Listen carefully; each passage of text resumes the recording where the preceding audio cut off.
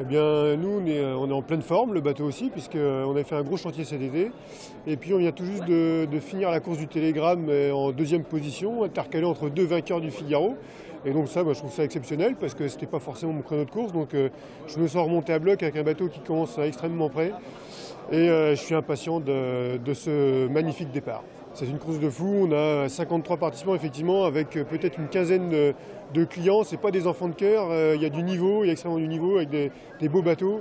Donc, ça va faire une belle bagarre sur l'eau. Et le but, c'est d'en tirer son épingle du jeu.